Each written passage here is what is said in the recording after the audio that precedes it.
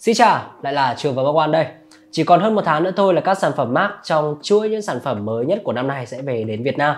Và việc mà những chiếc máy này về đến Việt Nam không chỉ đơn thuần là chúng ta sẽ bán nó ra mà nó còn ảnh hưởng đến rất nhiều những chiếc Mac đời trước và liệu rằng đâu sẽ là những chiếc máy đáng mua nhất trong cuối năm nay và thậm chí là nửa đầu năm sau nữa thì trong video này mình sẽ tổng hợp cho các bạn.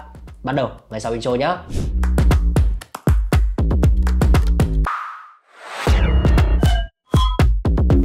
Với sự khai tử vào đầu năm nay của MacBook Air M1 thì đây sẽ không còn là lựa chọn hot hit nữa trong năm 2024 và dự kiến là sẽ trong thời gian về sau nữa không có ai lựa chọn MacBook Air M1 nhiều nữa đâu.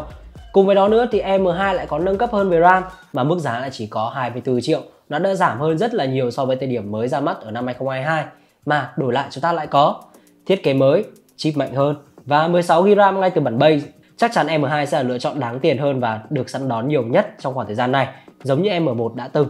Với sức mạnh cho con chip M2, tuy rằng là nó không mạnh hơn đáng kể so với M1 theo như công bố, nhưng với những gì mình được sử dụng với cả macOS 15 đã cho thấy được rằng cái sự ổn định và được hỗ trợ lâu dài của M2 nó sẽ phù hợp cho việc mà các bạn có thể lựa chọn làm một chiếc máy đường dài trong khoảng chu kỳ 4 đến 5 năm nữa mà M1 chắc chắn là sẽ không làm được vào thời điểm này. Theo như quan điểm cá nhân của mình thì đây sẽ tiếp tục là một mẫu máy để cho anh em làm văn phòng này, các bạn làm đồ họa 2D hay là các bạn bây giờ có thể làm code được luôn với cái mức RAM nó phù hợp như thế này rồi. Tuy nhiên thì nếu mà làm code thì nên để ý về phần nhiệt độ nhá, bởi vì nếu như các bạn làm nó là máy phụ thì ok, các bạn không phải lo lắng gì cả. Nhưng nếu là một cái máy chính thì hãy để ý về về cái vấn đề môi trường làm sao để làm việc trong một cái môi trường nó thoáng mát nhất hoặc là có thể là thêm những cái giải pháp tản nhiệt ví dụ như là mua đế tản nhiệt chẳng hạn MacBook Pro 14 và 16 inch năm 2021 sẽ là lựa chọn tiếp theo của mình trong video lần này các bạn có thể thấy được sự khác biệt rõ rệt giữa M1 Pro, M1 Max so với cả chip M4 năm nay. Mặc dù chỉ là một con chip thường thôi nhưng nếu mà để so với cả chip Pro của năm 2021 thì lại mạnh hơn rõ rệt. Như thế này thì M1 Pro với M1 Max làm sao mà đáng chọn nữa? Nhưng câu trả lời là không. Đối với chính bản thân mình hay là bất kỳ bạn nào đang sử dụng những chiếc máy có những con chip này thì đều sẽ có một nhận xét chung rằng nó vẫn đang còn rất ok và rất mạnh. Các bạn nhìn thấy sự lu mờ của M1 Pro, M1 Max bởi vì là các bạn đang so sánh với M4 mà thôi. Còn nếu mà so với mặt bằng chung về việc sử dụng máy nhá thì bây giờ chúng ta vẫn có thể edit video thoải mái ở trên này các bạn vẫn có thể sử dụng làm cốt và thậm chí có thể đụng đến cả 3D luôn. Mà đâu cũng có thua kém gì M4 series đâu. Build máy, chất lượng màn hình, loa, cổng kết nối đều y chang luôn. Xong mức giá chỉ hạ xuống loanh quanh khoảng 3x thôi. Kèm với đó là sẽ có nhiều option hơn như là 32 GB RAM, ổ cứng 1T sẽ xuất hiện nhiều hơn khi những người dùng khác thu cũ đổi mới. Nên mình nghĩ 14 và 16 inch năm 2021 sẽ là một lựa chọn xứng đáng cho các bạn trong mức giá khoảng cỡ hơn 30 để có thể lựa chọn một cấu hình mạnh mà vẫn có thể sử dụng ok. Và mình sẽ recommend một số đối tượng ngành nghề phù hợp với chiếc máy này. Các bạn làm nhà, các bạn làm video mà không cần phải sử dụng VFX quá nhiều.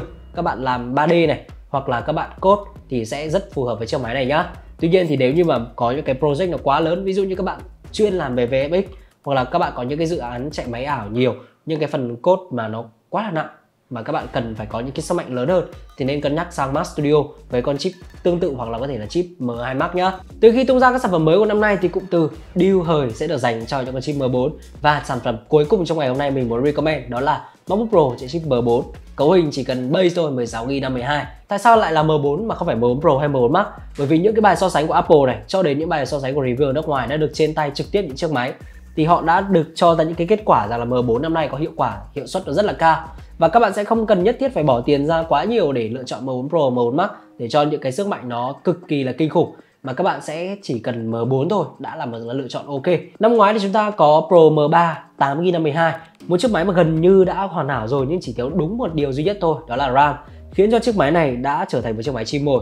Ai mà muốn lựa chọn nó nhẹ nhàng thì chúng ta chọn M3 16 năm 12 còn ai muốn nó mạnh hẳn thì chọn lên hẳn bản M3 Pro 18 năm 12 chứ không ai chọn bản M3 8GB năm 12 cả. Thì đến năm nay, thiết bị thay thế cho M3 bản base là M4 base 16 năm 12 đã làm được tất cả những điều đó.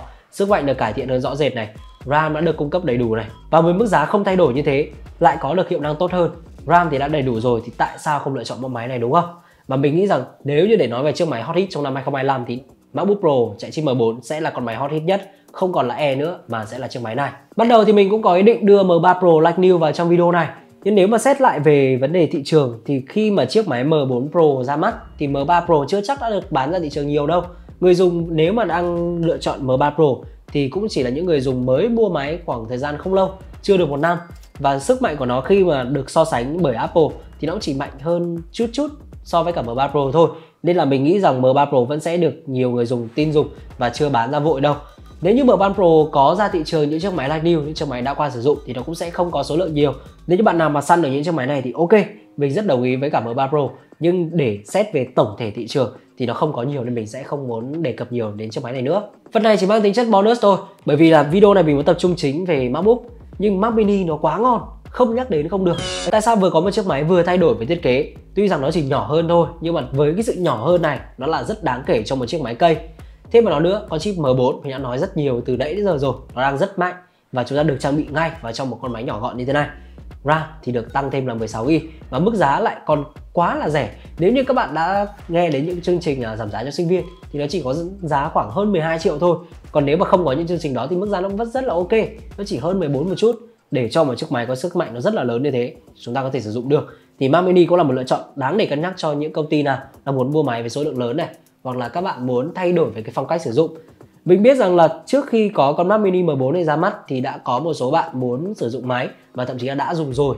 Với phong cách là dùng Mac Mini thay cho MacBook các bạn sắm một cái Mac Mini sắm thêm một cái màn hình rời và một bộ à, bàn phím chuột gọn nhẹ để có thể sử dụng thay cho MacBook luôn. Mang đến công ty mang đi làm nó yên tâm và ổn định hơn vì nó không có màn hình. Thì về cái phong cách sử dụng này, mình cũng thấy khá là hay và mình sẽ lên thêm một video nữa về cái cách sử dụng Mac Mini thay cho MacBook nhá. Để như các bạn nào mà quan tâm về vấn đề này, có thể comment ở phía bên dưới hoặc là bấm nút like cho video để à, mình sẽ có thể là ra video này sớm hơn. Ok, tổng kết lại video này. Ba chiếc MacBook mà mình vừa mới có đề cập đến, thì đây là những lựa chọn của mình. Theo quan điểm cá nhân của mình là nó sẽ phù hợp cho đại đa phần các bạn còn nếu như các bạn muốn có quan điểm khác về những mẫu máy khác mà bạn nghĩ là nó xứng đáng hơn có thể comment ở phía bên dưới nhá. Nếu thấy nội dung này hữu ích hãy để lại một nút like một đăng ký kênh cho kênh youtube của Mark One để không bỏ lỡ nội dung cực hay có trên youtube, YouTube Short và tiktok nhá. Còn bây giờ xin chào và hẹn gặp lại.